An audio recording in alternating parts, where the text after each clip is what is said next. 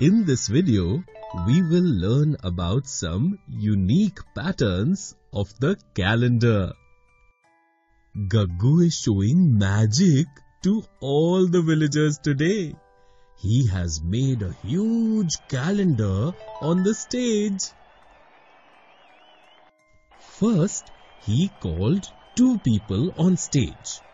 Babban and Chanda immediately got on the stage. He asked both Chanda and Babban to choose a date and make a circle on it. They have to keep in mind that while choosing the date, the date should not be in the last vertical or horizontal line of the month.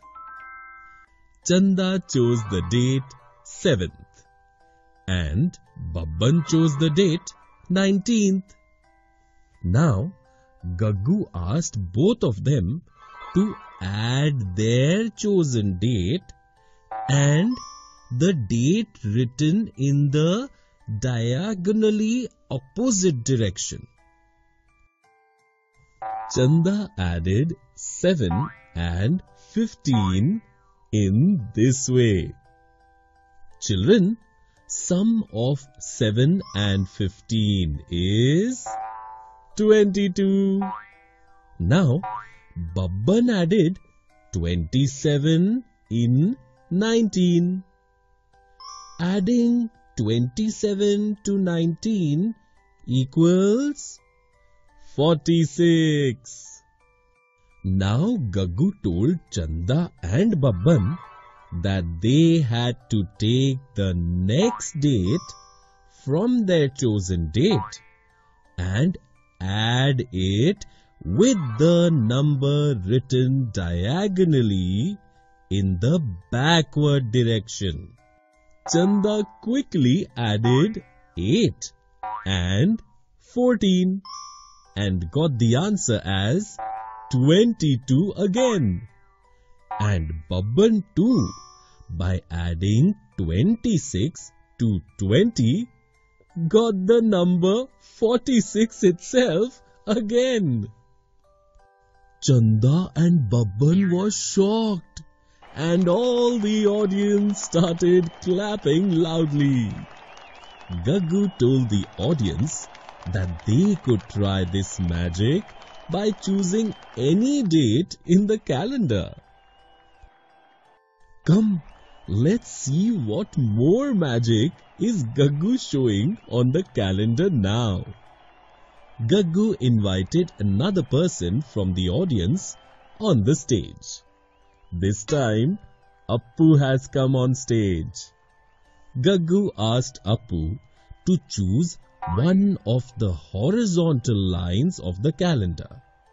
All he has to keep in mind is that the horizontal line should not be incomplete.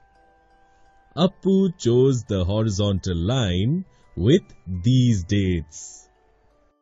Now Gaggu asked Appu that which of these numbers is exactly in the middle of this horizontal line. Appu immediately pointed to 15 and said, This one. Now Gaggu asked him, what would be 2 times this number? Children, can you tell how much is 15 times 2? Correct! 30. Gaggu wrote 30 on the paper. Now, Gaggu told Appu that he had to add the first and last numbers of that horizontal line. Children, can you tell what 12 added to 18 is? Perfect! 30. Now Gaggu told Appu that even if he added the second and sixth numbers of that horizontal line, his addition would still be 30.